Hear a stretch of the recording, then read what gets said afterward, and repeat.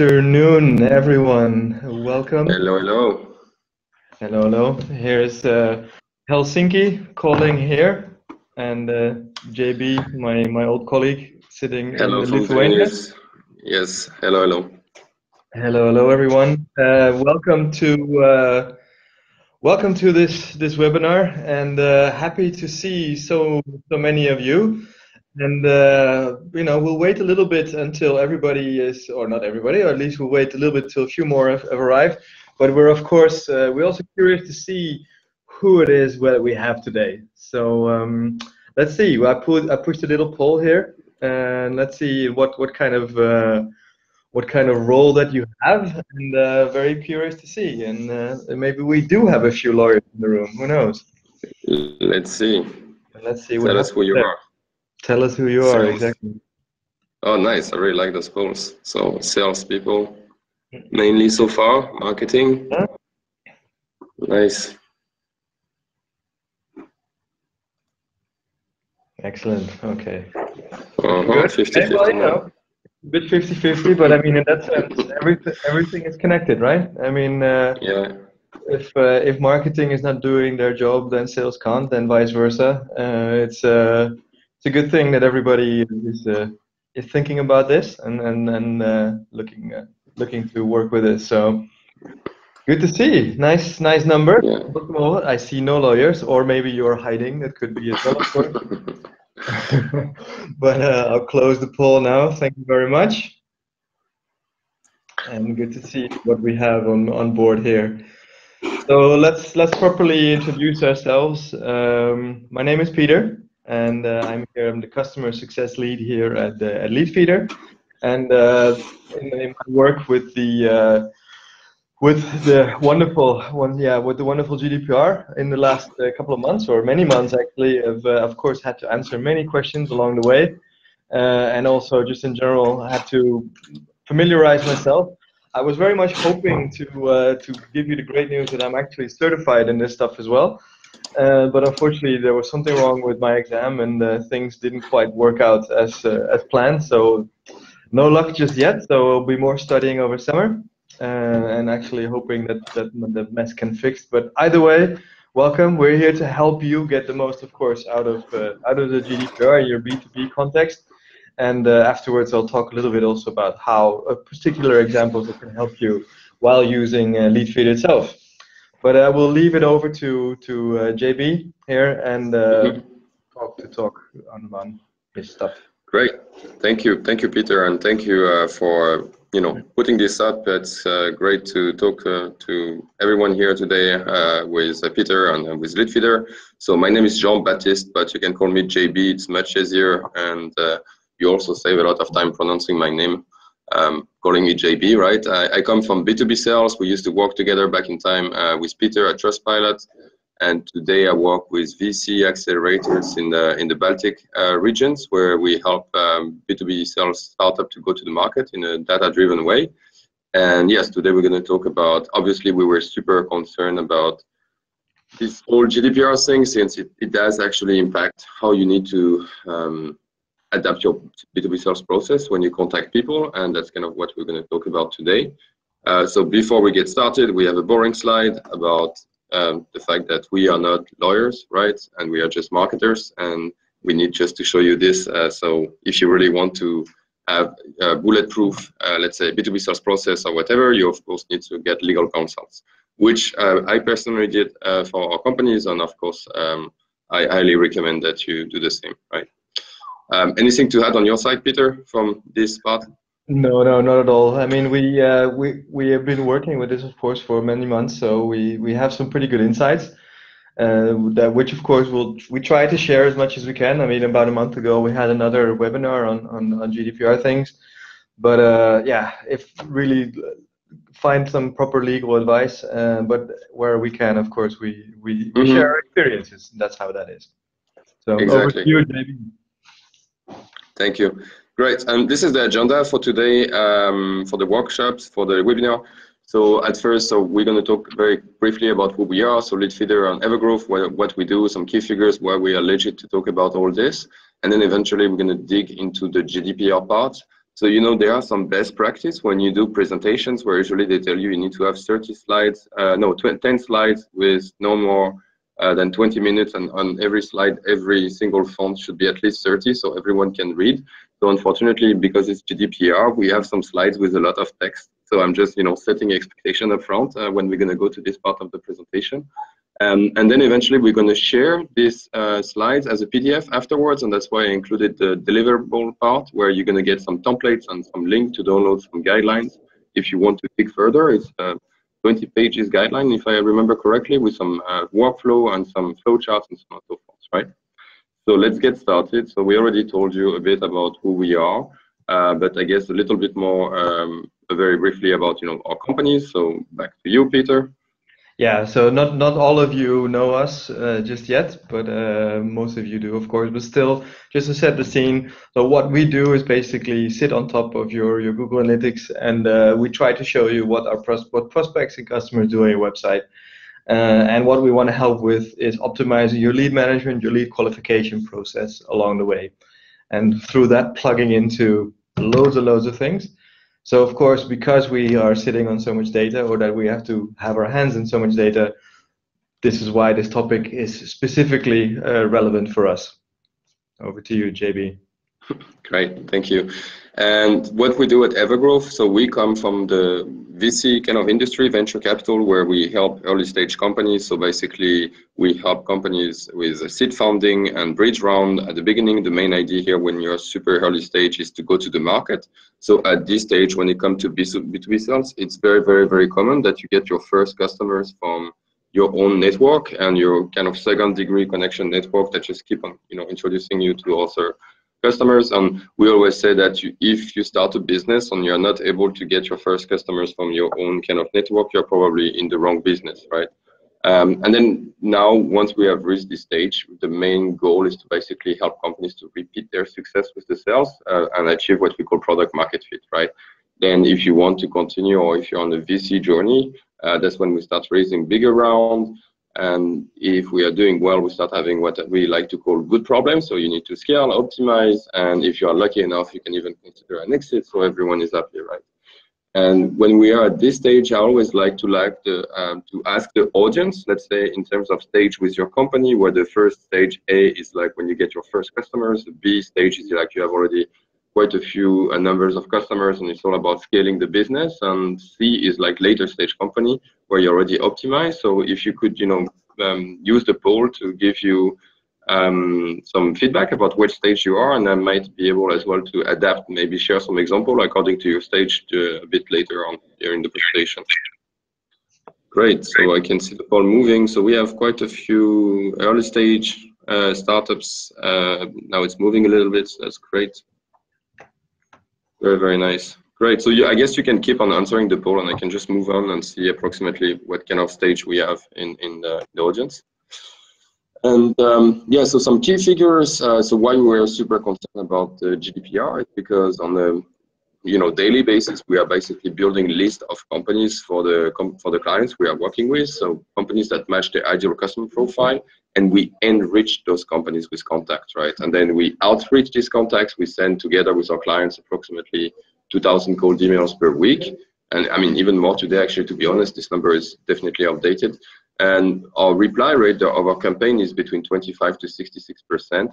And we are booking together with our customer over 100 meetings per week. And these are some key clients achievements that we are very proud to share. So uh, with some clients after, of course, working for more than nine months, but after working with them for some time and putting a predictable pipeline, uh, data-driven uh, workflow in place, we succeeded in nine months to generate $10 million of revenue. And most of the startup, we grew 1,000% in the years when we were moving from this A to B stage and starting to scale the machine, right? So this is pretty much what we do.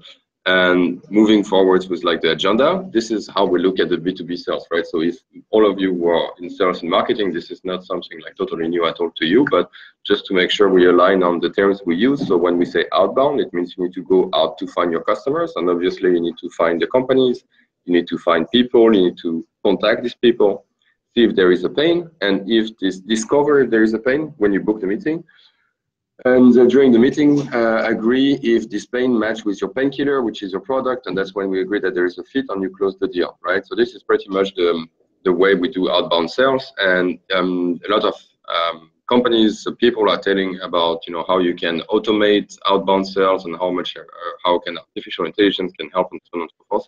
I think we're very very far to have, have everything automated. However, uh, you can systemize it because it's a very systematic type of work, right? So we talk about system when we do outbound. And then, of course, inbound, uh, you can have great tools like a Leadfeeder to help you um, enrich and qualify, pre-qualify maybe the, the, top of your funnel. And you can automate way more uh, stuff uh, with the content, the lead generation, and so on. And in that case, you don't need to find the company, you don't need to find the people, they don't need to contact them because they already come to you. And in the best case scenario, they have a pain that matches your painkiller. And today we're going to talk about GDPR for outbound, right? And while um, few parts of maybe this presentation can apply for uh, inbound, if you read the GDPR, these are actually two different articles. So when it comes to outbound, it's Article 14. And when it comes to inbound, it's Article 13. And the main difference is the opt-in, right? So we're going to talk about this uh, a bit later. But if you want to compare, uh, obviously, you can go directly to Article 13 for inbound and maybe some other one, and then in outbound, everything is mostly covered in Article 14. Um, and then go a bit, little bit more into details and um, how we look at the B2B sales funnels. Uh, we always like to look at the B2B sales funnels from that perspective, where we have basically the time and the value you had at the different stage of your process, and we had it, the GDPR on the top. So at first, you start with your ideal customer profile, right, that we call ICPs. Um, with, once you are done with your ideal customer profile, you kind of generate uh, or estimate, let's say, your total addressable market that you can reach for each ICP. You start doing some list building. Um, unfortunately, we never found a database or a place to scrape over the web where no matter how good our robots were to do the scraping, we had 100% of those companies that were matching our ICP. So that's what we call the list pre-qualification.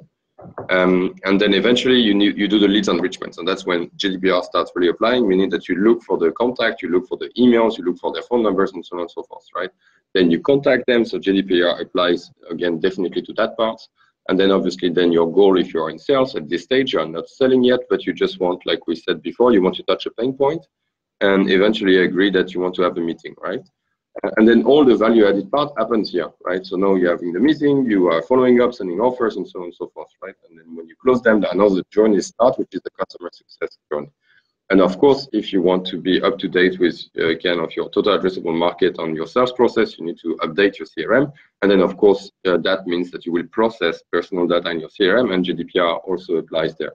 And we often in B2B SaaS, like uh, software as a service companies, we separate those uh, three role into data research, outreach rep, or they are also called BDR or SDR these days, on account executive or sales rep.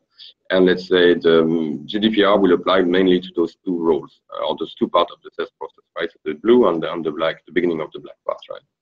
So moving forward with the agenda, we're going to use some terms that actually come from the GDPR. So we're going to use uh, the term personal data, obviously, and when it, when it, for, on, in the context of outbound sales, what it means, it means the full name, the job title, the email, obviously, even if it's a work email, it is personal data because it does contain the first name or the last name, or, and, and it is personal data information, the phone number, is, is very questionable, but do not be risky. We will assume that their personal work phone number might be considered a personal data. We're just minimizing the risk. Um, processing means, for example, that you are collecting their personal data in your CRM. This is how we see uh, this definition.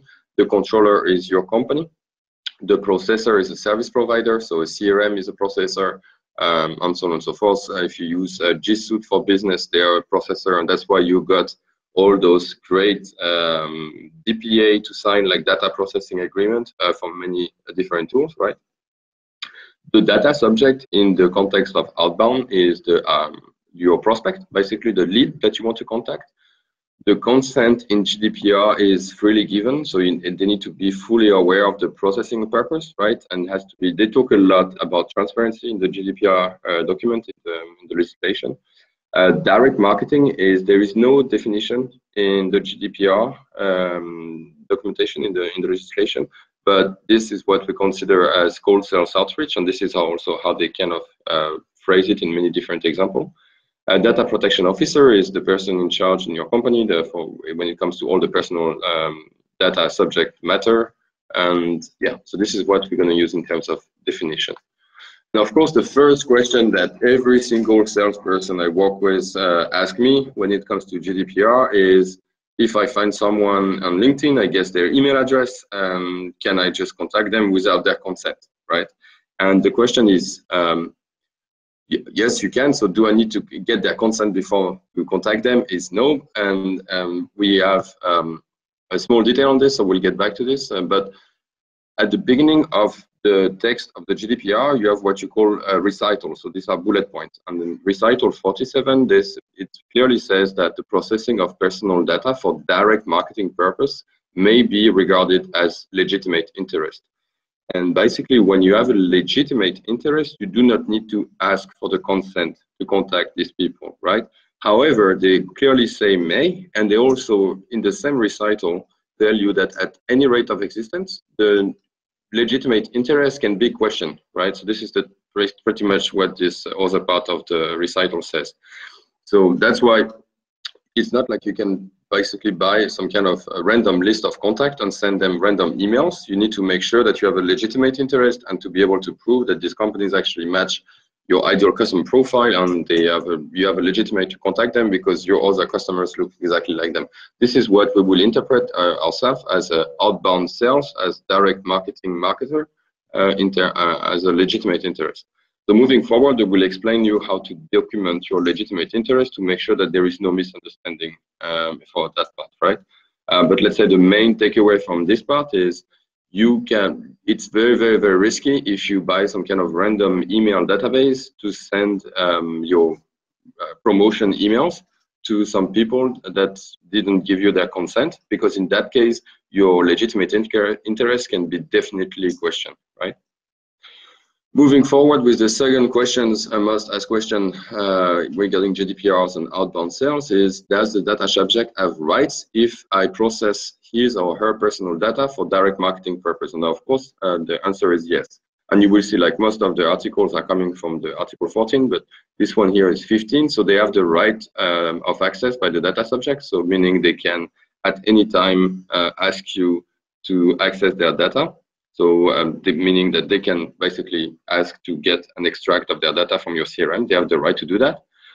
Um, this right is a bit funny in the, the outbound uh, context. It does apply to um, to the GDPR as well. They have the right to rectify the data, meaning that they could uh, basically ask you, um, do um, I change my job title?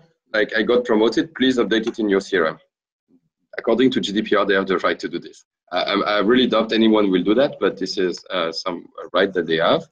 Um, moving forward, they of course have the right to of erasure to be forgotten. Uh, that's so that's coming back a lot in many different articles in the GDPR and many different recital. Um, and I understand where it's coming from with all the you know uh, different big big internet companies that might not make it very transparent that you can actually be forgotten. And there is a loop in the B2B sales funnel where this article doesn't make sense, and we will um, get back to it at the end of the presentation, uh, but they have this right. Um, they have the right to restrict the processing. So basically, this one means that if they want to question your legitimate interest, they can just say, please keep my data, and I'm just going to question your legitimate interest with the um, legit whatever authority in my region. Uh, so please, uh, we know you restrict the processing, and we just uh, going to ask authority to basically say who is right or not, right? Uh, and then, of course, uh, you need to notify them every time they ask uh, something, which is um, um, they express one of their right. You need to notify that you have received, and you need to basically tell them as well if how and when you honor their right. So if they tell you, please stop, um, um, please update my data, or please send me my data, you need to basically confirm and uh, obviously send it to them. And of course, uh, Article 21, they have the right to object, uh, which is just that just means I'm not interested, right? But according to GDPR, now you need to be even more careful than before and make sure you do, do not contact these people anymore, right? Because from that moment on, according to the GDPR, they objected, so you should not contact them anymore. Good. And moving forward, so for this question alone, I have three slides. Um, and I have, in the second part of the presentation, we have one part that is dedicated exactly to that part. So do I need to inform the data subject about his or her right uh, when, if I process the, their personal data, basically for direct marketing purpose? And yes, you need to, and there is quite a lot of uh, things that you need to tell them. So um, you need to inform them about the identity and the contact details of the controllers is basically who is your company, um, if applicable, you need to give the contact details of the data protection officer. So in the example we will share later, this will not be applicable. Uh, but if you do it another way, this might be applicable. Um, the purpose of the processing for the personal data. So in your case, you need to tell them that uh, this is the details of a company and we uh, process your personal data for direct marketing. Uh, this is the purpose, right? Um, and this one is related uh, basically to the other one. Um, if it's if the purpose is related to legitimate interest, you need to name the legitimate interest. So in our case, it's direct marketing. You have different legitimate interest. In that case, it's direct marketing. Uh, the categories of the personal data. So basically, it's what we saw um, in the definition slide. So the category most of the time will concern the full name, uh, the emails, the job title. Um, if you have their phone, it might concern the phone, and so on and so forth and then the period for which the personal data will be stored, or if that's not possible, the criteria used to determine that period. So you need to tell them, um, obviously in a simple way, uh, what is the criteria to store their data in the CRM, right? Um, and you need to tell that when you contact them for the first time, right? So the existing, uh, and then you need, basically this article, this point in the article, what it says is you need to inform them about how they can request um, rectification, erasure of the personal data and um, you need to tell them that they also have the right to lodge a complaint to the supervisory uh, authority. And finally, if you got their source uh, from some kind of public data, you need also to tell them where you found uh, their, um, their personal data, from which source. And the last slide uh, about this question, if they are used, uh, if you use the personal data to communicate with them, you need to inform them from the first uh, point of contact, right? So from your first communication, if you do cold call, you need to inform them during your cold call. If you do cold email, during your cold email, right? Um, and this is just again a recital, so it's one of the point that is at the beginning of the text, and this kind of like sum up everything uh, that was in those uh, three slides where personal data are processed for the purpose of direct marketing, should have the right to object, and so on and so forth, right? So uh, you can you can read uh, all the all the slides again afterwards, but basically this recital just sums up uh, all the uh, other points that we had before that.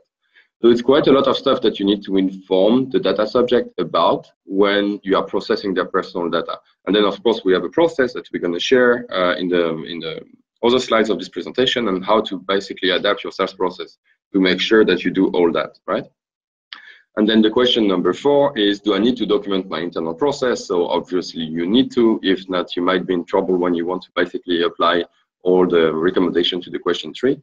So what we recommend is to document your legitimate interest, because again, at any time, uh, your legitimate interest might be a question. And if you define your ideal customer profile, if you have dedicated fields in your CRM that basically systemize this homework, like, like this company, match this ICP, and that's why, um, so but when I say ICP, I mean ideal customer profile, right? So when this company match your ICP and so on and so forth, so you could basically, if your um, legitimate interest is uh, questioned, you could basically show that um, you did all the homework that uh, basically, uh, from your perspective, document your legitimate interest. When you process the personal data, you need to be able to store somewhere in your CRM, uh, CRM system where uh, and what are the sources of where you collected this data. Of course, you need to double check and triple check that all the tools you use to process those data, this personal data, uh, is actually compliant to GDPR. So that's why you got all this uh, DPA uh, data processing agreement from the different tools you use. Um, and of course, if applicable, it's always nice to have flowcharts and so on and so forth. I mean, with all the lawyers I actually had discussion with uh, regarding GDPRs, everyone is talking about that what the authority would like to see is the good intention that you did your best to follow the GDPR, right? And if you have this type of process, this is pretty much what it will show, and that it was transparent and there is no kind of uh, um, mean to hurt anyone in your process. You just want to be nice and inform people and follow the regulation, right? And then of course the data subject right. So every one one of the every time one of the data subjects tells you stop contacting me or they object to the to the they expect their right to object to the to the outreach um, uh, to the process of the personal data or if they request erasure you need to have a process in place that is transparent and when you can basically honor every single request. Uh, and of course we are um, you know system geek here so we will systemize this part of the process and so on and so forth right? And finally the last question. So do i need to follow the gdpr regulation if my organization is based outside of the eu of course, it's yes, because um, it's all about the EU data subject and not about the organization. And if pretty much this article sums it up, so if your organization is located in a place where the EU laws apply by the virtue of public international law. So basically, maybe if you're in North Korea, uh, you don't need to follow the GDPR, right? Because the EU laws do not really apply in, in North Korea. But I think if you are based somewhere else, you most likely you need to follow the GDPR, right? I'm just kidding, of course, but uh, the point here is it concerns the EU data subject, right? So it's not about where the, the company is located. nice comment, Doreen. Recital 47 is the reason uh, I still have food on the table. Great. Okay, uh, focusing back on the slide. So data processing. So this is the part one. So in this part, we're going to talk about how you need to adapt your sales process to basically process personal data in your CRM and make sure that you are compliant and you can, when you outreach, basically be compliant again, right? So I'm not going to go uh, like in super details on how to set up your CRM, but just to keep it uh, more like theoretical, most of the CRMs are set up the same way. You have three main elements. So you have companies where you have default fields like country, and then you can add custom fields like ICP on ICP type. So again, ICP stands for ideal customer profile. Um, then according to your sales process, you might have different tasks uh, according to different part of your workflow. And let's say when you find a company that matches your ICP, you want to add a contact, so people in the CRM, and then you have some default fields where the GDPR uh, basically directly applies because those fields are designed to process personal data. Uh, so we have email, we have uh, status, which are the stage. So you might have here a stage do not contact if they basically tell you like, I object to your, your processing or please do not contact me again. And you need to make sure that you never contact people again to respect the GDPR and so on and so forth. We also have some custom fields where we have the GDPR source. So I have another slide where we share uh, different templates on where and how we collect their, so, uh, their, so we basically systemize that part. And then this is more like our own uh, process, but we always categorize people as well by expertise and type. And this could be also some more, let's say, legitimate interest uh, process, saying that we usually work with customers that have expertise marketing or expertise sales and that are type decision maker or influencer. And the reason we started doing this was way before GDPR, just for the full story. We started doing this because we are like very data-driven sales uh, consulting company and organization in general. And when we started to make a report uh, with you know pie chart of job title, it just was in all over the place, right? There is no pattern across organization about job titles. And then when we started to categorize job title into expertise, so if you are a marketing uh, director, a, a growth guru, or um, or some kind of uh, CMO, your expertise is marketing. And if you are you know VP, then you are director uh, or VP or director, you are decision maker. And if you are a manager or executive, you might be influencer according to the size of your company. So this is how we use these two uh, fields, and this might be also useful for legitimate interest. And then finally, there is nothing here that will apply to the GDPR, but just to kind of get the full picture of how the CRM looks like, you have default fields with, uh, well, you have a deal or opportunity according to what CRM you use. And obviously, at this stage, you have already uh, talked and agreed with the contact that uh, there is a legitimate interest to do business together, and no, no, nothing apply here to the GDPR, right? And then if we follow the same uh, process, um, the same workflow we looked at earlier, so we uh, start with the list building. And in the list building, um, in order to add those steps, we need to document our ideal customer profile. So how we usually do that is we have different profile for uh, each um, ICP, um, where we have a part about the company. So it's, you know, 90% of what we're going to talk here is pure common sense. So you categorize them by regions, verticals, which is a, which, which can be a group of industries. So an example, if, if you work with e-commerce, uh, the industry might be e-commerce, internet, or, re, or, retail, or whatever. And then you have subcategories like for example the biggest uh, vertical in e-commerce is travel then you probably have electronics or fashion and so on and so forth right? um, um, Oliver, we're going to talk. I just see some question on the chat. It was a big one. So we're going to talk about this uh, probably, blah, blah, blah, for example, on my LinkedIn. Uh, I think we're going to talk about this question uh, later in the presentation. So I'll just uh, uh, keep going.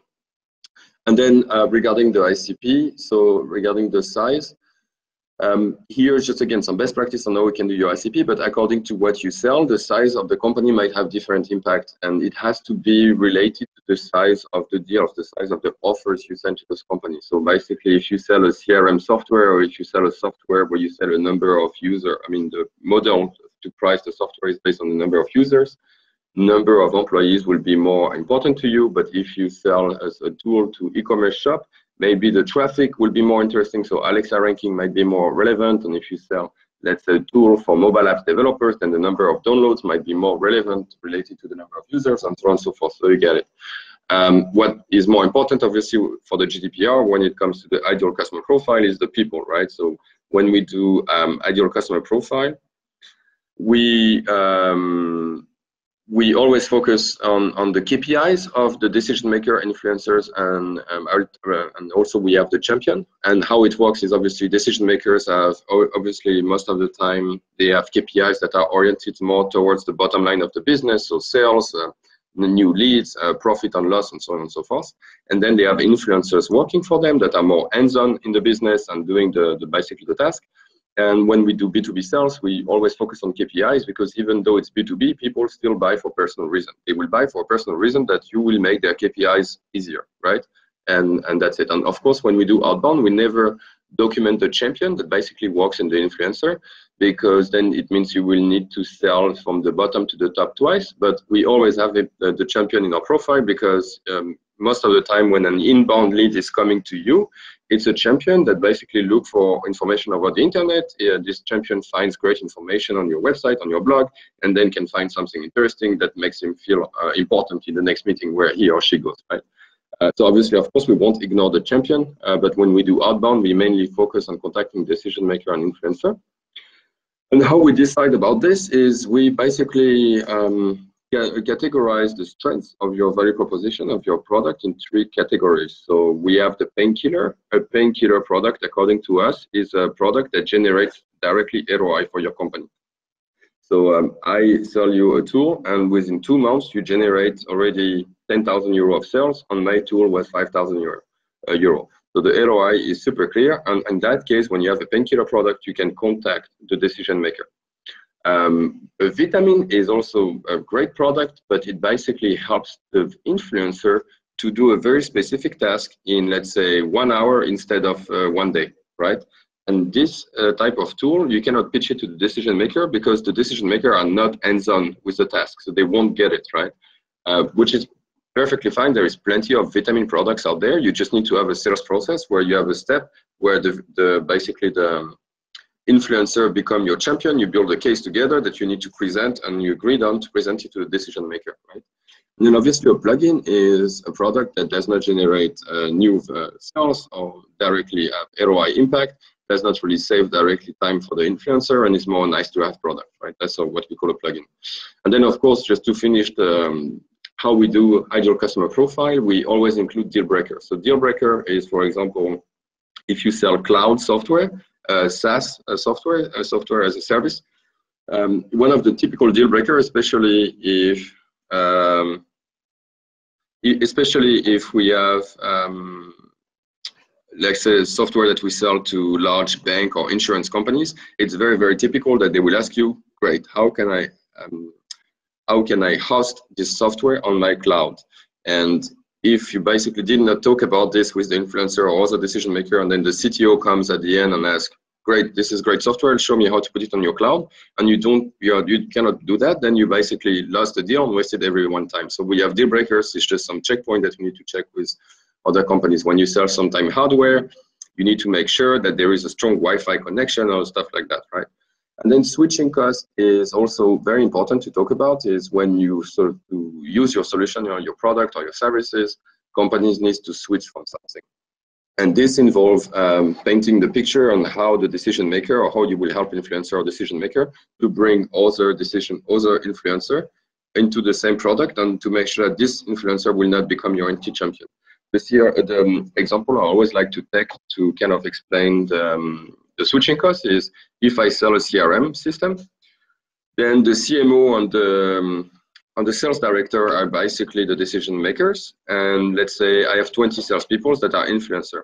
Both the CMO and the sales director, they both love the CRM. They both see that it's much better and they can work much better together as well. Um, however, I have 20 influencers, 20 salespeople that use another CRM every day. And even though my CRM is cheaper, this is a huge switching cost, right? And in, in to remove the switching cost, I will have a sales process that basically help me to do personal onboarding, and personal training, and move the data, and so on and so forth. So this is what we call switching cost. And this is not related to GDPR, it's just more like the best practice of the ICP, and this is more related to you know, B2B. Um, but I will have this to basically categorize uh, my, when I do list building, and to question later.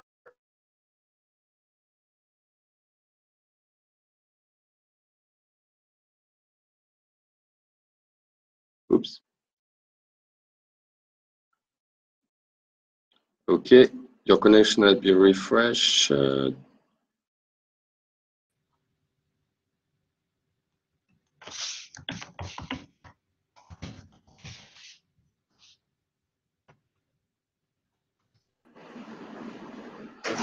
Hello. Sorry about that. It's okay. Did you kick me out?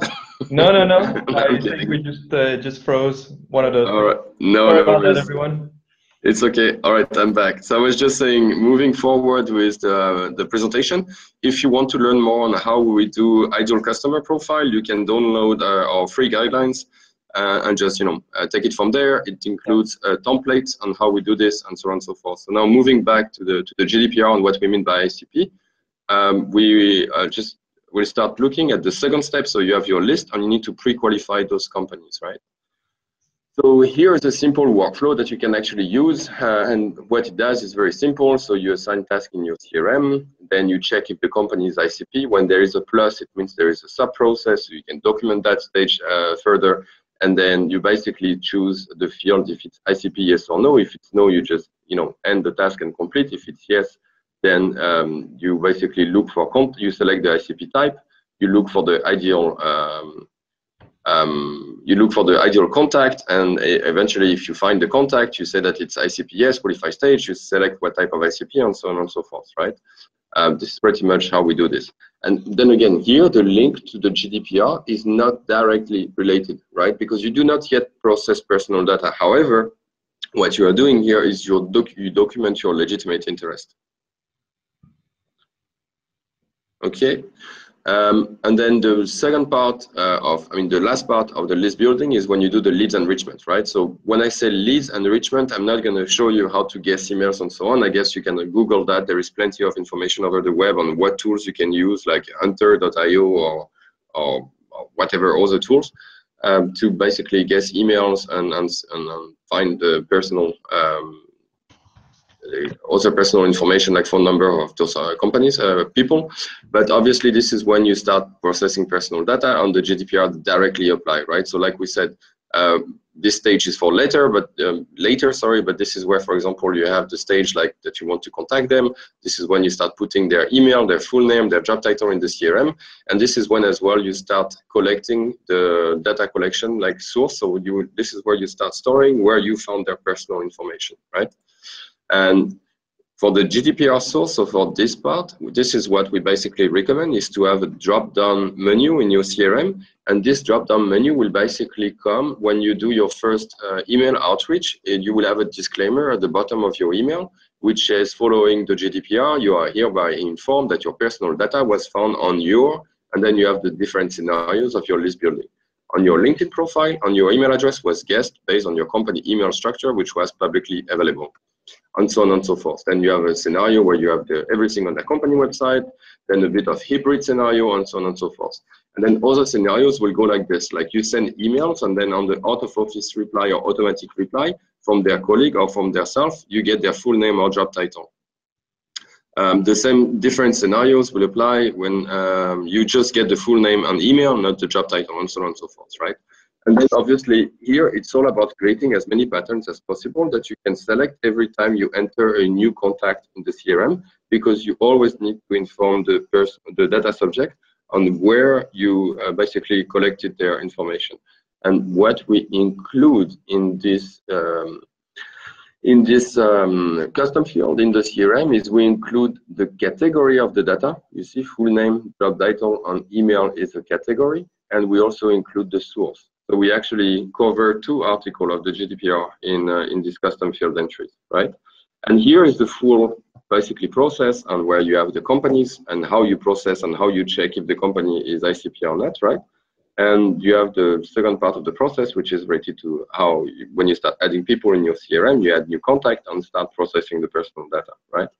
And the link, obviously, to the GDPR here is directly related um, because you are person well, you are processing the personal data and you want to make sure that you collect the information to be compliant uh, with the direct marketing and show that you have a legitimate interest to contact them for the direct marketing purpose, right? So going back to question three and the article uh, 14.2.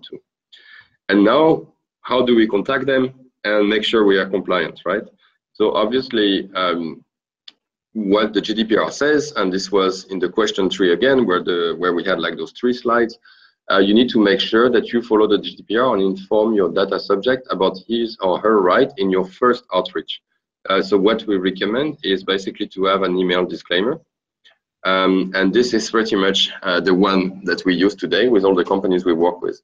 Uh, just to walk you through it, uh, this is maybe not visible, but it's super important that you have your address because remember in the um, uh, question number three, you need to give them the, the full details about your company. So now in your email signature, you need to have your address. Um, then following the GDPR, blah, blah, blah, we basically inform you that your um, personal data was found on your, and this is again what we looked at in the slide before. This is where we include the category of the personal data and the source, where we found this personal data and then we tell them the purpose. So um, what we do with the data, so it was manually processed in our CRM for direct marketing purpose. We tell them that they have the right to lodge a complaint. So according to the GDPR, you have the right to lodge a complaint to supervisory authority.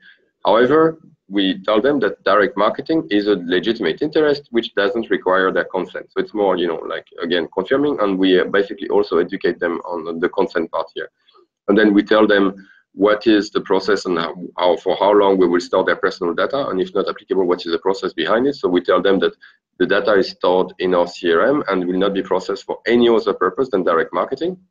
And finally, we inform them about their right. So according to the, for, uh, to the GDPR, they have three rights.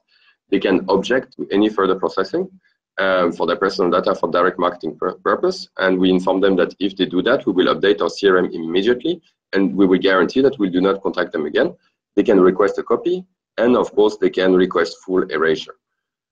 Um, and we tell them this is also according to the GDPR, what is the process, the transparent way and easy way, blah, blah, blah, to express their right. So basically to express their right, we just tell them that they just basically need to reply to this email with the number of the right they want to basically apply, to exercise.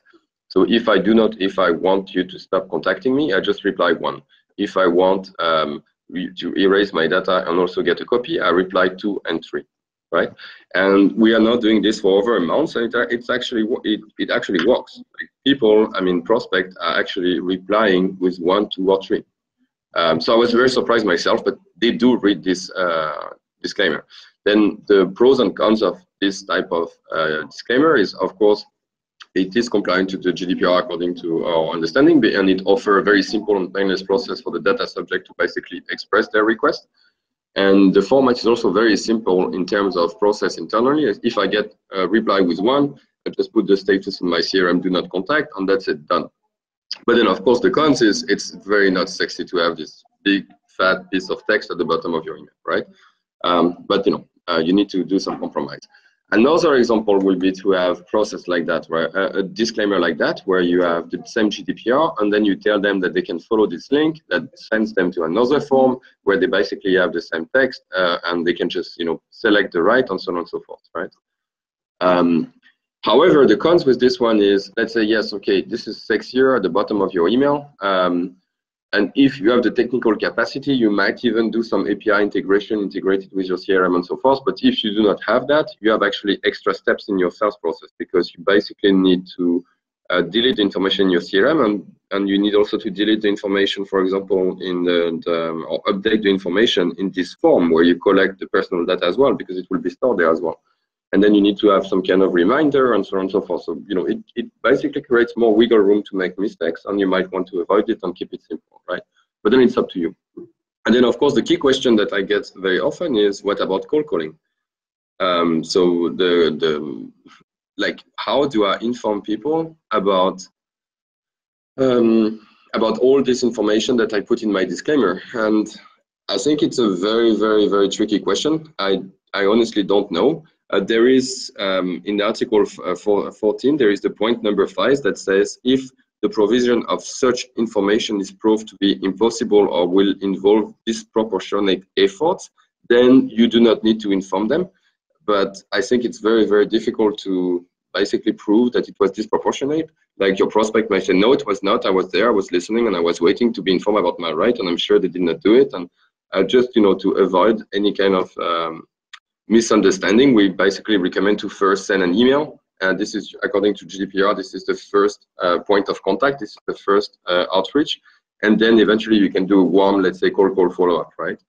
Um, but it's, it's still a gray area because let's say, even if you do it very honestly, um, like, and you do tell them all their rights, how do you document it? How do you prove that you actually did it, right? And then it's, you might tell me that you might, yeah, I will, uh, I will actually um, I will actually record the, the, the, call, but then you also need to inform them about, you know, that you record the call. So by the way, I'm recording this call and these are your rights, right? And then you talk five minutes about their rights and not about your So I think cold calling is a big question mark in, in uh, still according to the GDPR. But again, the trick is you first send a cold email with a, your product following the best practice of cold emailing and so on and so forth. And then eventually you do a follow-up call call. Okay. Um, the controller should be obliged, yeah, okay. And now the, the last part is um, honoring the data subject request. So according to the recital, recital 59, the controller should be obliged to respond to the request from the data subject and so on and so forth. Basically, it's kind of logical. This is pure common sense. Is if one of the data subject basically wants to express uh, their request, you need to honor their request. And here is a very simple process that you can use internally. This is the data subject here, and this is you they submit a request. So they reply to your email or to, or to your call, and they basically, you need to qualify the request because they might not just reply by one, two, three. And if they tell you stop contacting me, it basically means that they object to the processing. So in that case, you need to update your CRM and confirm that you updated the CRM. They might submit another request, and if so, you follow the same process. And if not, this is kind of over. Uh, and so on and so forth for the other type of um, uh, rights that they have, so personal data copy and personal data erasure, right? Um, good. And then here are some templates that we suggest to use. So for example, uh, use case number one, they object. So you confirm as per your request, I by confirm that uh, your status has been updated and we will not contact you anymore and so on and so forth, right? Uh, template number two, where you basically share their personal uh, data in a CSV file. Uh, according to the GDPR, it has to be on a machine readable format. Um, and then eventually, this is the tricky part if they basically tell you to remove their data, and you remember you have this super neat process where you basically keep on looking for companies that match your ICP and so on and so forth, their personal uh, data will basically be out of your CRM. And this is basically what you tell them in, in, in the middle. It's like, as per your request, you need to honor the request. So you cannot just try to expand it and keep the data in your CRM. You need to honor it. So you confirm, as per your request, I hereby confirm that your personal data was fully removed.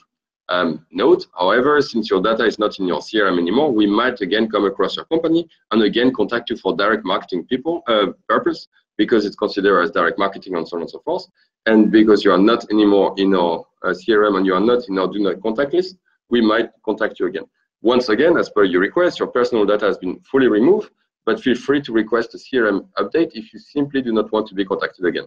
So this is to me the loop in the in the basically GDPR that if I'm doing B2B sales and I have a process, if I remove someone from my CRM, and then I want to see this company again as an ICP, and this person is not in my CRM, I might just contact this person again. Uh, so that's a bit of a funny loop. Uh, we are using this for quite some time now, and um, and um, we have actually some people replying like, yes, put me back in your do not contact list and, you know, don't contact me anymore, right? So, uh, and which is funny because this means that you need to create a new person again in the CRM because you just did what you said and you remove and so on and so forth, right? Um, and um, yeah, so this is pretty much um, the guidelines that we did for the GDPR. You can, uh, we will share again this uh, document, this uh, uh, slides after the after the webinars, and you can of course download uh, the e-guide. I also really, really like this link from Algolia, which made the GDPR way more searchable. Uh, so feel free to basically click on those links. And to conclude, basically, on uh, the GDPR plus outbound is that legitimate interest is not your get out of jail for free card, right? It's not because they say that in the recital 47 that you have legitimate interest to contact for direct marketing purpose that you should just put the legitimate interest flag everywhere. I think you still need to be very careful, document it, and have legit reason, obviously, to contact these people that uh, you can make some assumption that their pain basically match your painkiller. So yeah, so this was it for my part on the GDPR outbound, and I think Peter, you have some few comments on uh, example on how what you do at Leadfeeder, right? Correct, correct. Yeah, so I wanted to highlight a few things. So one of the things is uh, I saw the question coming up earlier as well. Uh, where let me go back to it. So Susan was asking in regard to how, what did you get your information from Leadfeeder, and actually that's exactly what I wanted to talk a little bit about. We have a few minutes left. So what what JB was highlighting here was uh, make sure that you actually document your process. Like how do you get the information? How do you actually process it? Because of course you need to be able to to prove anything if it gets to that point. Um, and that's where Leadfeeder contacts, for example, is very much uh, highlighted. So what what many of you have, you have integrated your CRMs with Leadfeeder. You uh, you you pick up you you identify leads, and and off of that you want to create uh, entries into your CRM, right? So and many times you you pick up a uh, potential contact from from Leadfeeder contacts that we that we that we provide, and of course it's really important that you then, for example, have a custom field, or in one way or another, uh, document that this is actually where the information came from. Because also, actually, another thing is that when a data process says, then the data subject says, "Hey, stop, you know, delete me," you actually need to come back to us as well and say, "Hey." Guys, this guy does not want to be in any of those databases, you need to make sure to delete it. Uh, so that's quite important that that, that is properly documented. And um, I see a lot of chats coming in. Um, all right, yes. The, don't worry, in regards, you, you're getting everything. You're getting the slides, you're getting the, the, the recordings. No worries about that. So, uh, so in that in that sense, that that question, Susan, is is exactly answered here. So make sure that you that you document your your information exactly where where you got it from, so you can't get in trouble. You know, covering your ass, but still, it's it's healthy to uh, to kind of like know where did actually things come from because at the same time, if it's a prospect that you get back to after a long time, you might not necessarily remember how you got it, right? Where did it come from? Like, was it somebody who talked to their neighbor, or was it actually someone who came in through Leadfeeder, for example? So, but then on another level, that's the next one. Um, JB, next slide, please. Merci beaucoup. So that's, for example, using LinkedIn. Now, of course, a lot of you uh, do do cold calling, do cold outreach, but at the same time, there's also another level to it because uh, one thing, for example, with uh, with, with Leadfeed is you can actually identify specific companies who have visited your website. Now, a lot of people ask us, hey, please tell me exactly who it was that visited my website, which actually under the GDPR is quite illegal. Uh, so that's already uh, that's that's a very simple reason. But for another reason also, it's really handy to have the just the company information because you're actually able to to target your LinkedIn sponsored posts to particular companies. So that's where you actually can start thinking about account-based management. Uh, if you really want to start focusing on particular organizations or if you want to, you know, go for a group of organizations, group of companies in a particular market.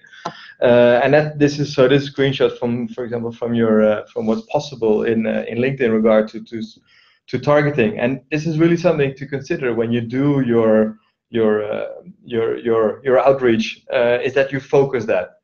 Um, and and this is where that can come in handy. So not necessarily avoiding the GDPR because of course social networks are they're not exempt, but they're they're in a in a different league when it comes to you know contacting because a lot of it is in a way, uh, and then there will be a lot of discussions on that public information. Um, but I'm sure the uh, and some people mentioned it already, the PECR or the uh, regulation on um, the e-privacy regulation that is that is still in the works. But this is a good example to kind of um, let's say it make it a little bit easier rather than than uh, um, running into trouble right away. So I'm focusing through, for example, uh, LinkedIn. Now I have another question from Susan here. What if the information came from another source but augmented with Leadfeeder? Uh, then I would still, then I would actually maybe consider using uh, using two two fields here uh, because of course depending, but again in, the end it depends on where the original personal data came from. so mm -hmm. that, so consider where that actually if the personal data came from another source, um, then it, it, you know your custom field would, would would clarify that. But if of course Leadfeeder uh, was the one who actually added the personal data on top of a uh, on top of for example a company information, then of course it, it the source was Leadfeeder. So I think it's it's very the main dis differentiator is here. Where did the original personal data come from? I hope that answers the question. We have like a few minutes left. Uh, Great. So um, feel free to shoot any other questions as well regarding outbound and, and GDPRs, obviously. I can see some great uh, feedback on the chat. Thank you so much. Yeah, thank you. Uh, here's somebody asking what is the relationship between our two companies. Thanks, Sharon, for asking. Uh, the relationship is no other than that JB and I have worked together about five, six years yeah. ago and uh, exactly. uh, we we kind of found each other again in a, in a discussion on on exactly this topic. Exactly. Yeah. It's uh, it's really that simple. Yeah. Great. Thank you, Neringa, for coming. Yes. Uh, no, Sharon. Uh, I, well, we are. We have some people in the UK, but no. Uh, health, originally, Leadfeeder is Helsinki based, but we have people everywhere, and and JB is located in uh, in Lithuania. Great. Um, and uh, yeah, I'm based in Vilnius, Lithuania. And uh, Julia, I also give workshop on how to do the French accent, so you can contact me if you like I, I, watched a lot of Allo Allo back in the day. I'm very good at it as well if you need to. But bon. Thank you, everyone. Really, really glad you accepted. Yeah. Thank you. Thank you. Feel free to also connect on LinkedIn, Twitter, and we'll share everything. Ciao. Connect and uh, have a great day. Have a great summer. Yeah. Ciao. Thank you, Peter, again. Bye. Bye bye.